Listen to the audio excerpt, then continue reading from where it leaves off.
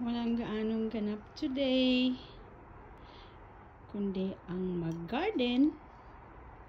Aking mga babies.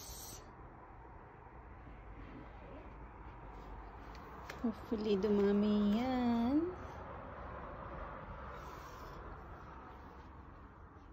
Inayos natin yung ating balcony. Para yung tutuluan ng iniinom ng ating mga ibon. Hummingbirds sometimes. They come along. Ang aking fortune plants. The second one.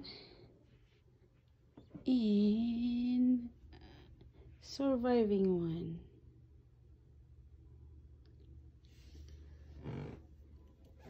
Marami pa rin mga kalat. But we will get there.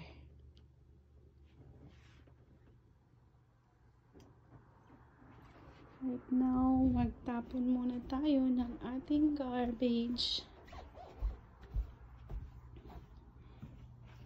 Ang aking scooter na hindi ko pa nasasakyan. Try natin today, I guess. Naghihintay ang aking basura. Kaya, tara na. Baba natin to at maglaro tayo. Um, pagkatapos magtapon ng basura. Diyan muna kayo.